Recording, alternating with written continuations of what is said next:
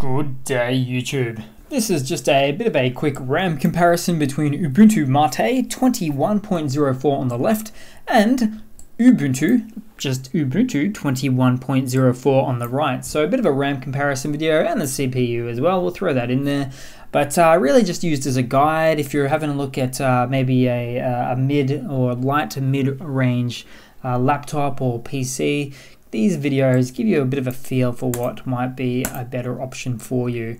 So getting into stuck into some of the details here, we'll start off with the Ubuntu Mate on the left hand side here. So we are running at about 580 megabytes of RAM on boot up, whereas on the right hand side for Ubuntu we are running at about four, sorry 760 megabytes of RAM on boot up. So about 200 megabytes uh, clear in difference there.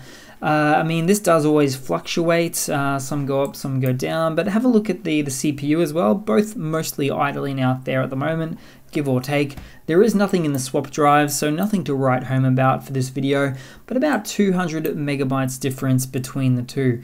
In the the more recent years, Ubuntu has been lagging uh, behind its uh, Lubuntu, Ubuntu, Kubuntu brothers in terms of uh, yeah the RAM usage on boot up. Again, nothing's loaded up in the background, just the operating system itself.